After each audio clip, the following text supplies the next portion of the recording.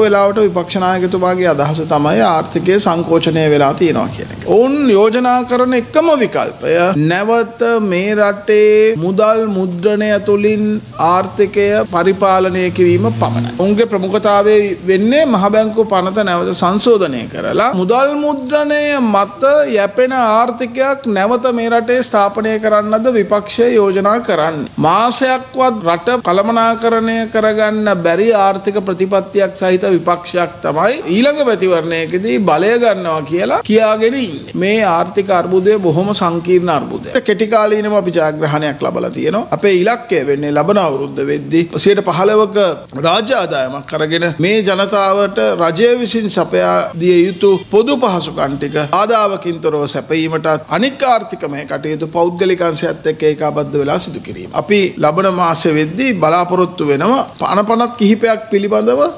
පාර්ලිමේන්තුව විවාද කළ සම්මත කරන්න. විශේෂයෙන්ම රාජ්‍ය මූල්‍ය කළමනාකරන පනත් කෙටුම්ප. අද විවේචනය පහසු වුණාට මෙතෙන්ට රට ගොඩනගන්න කවුරුත් ඉදිරිපත් වුණේ නැහැ.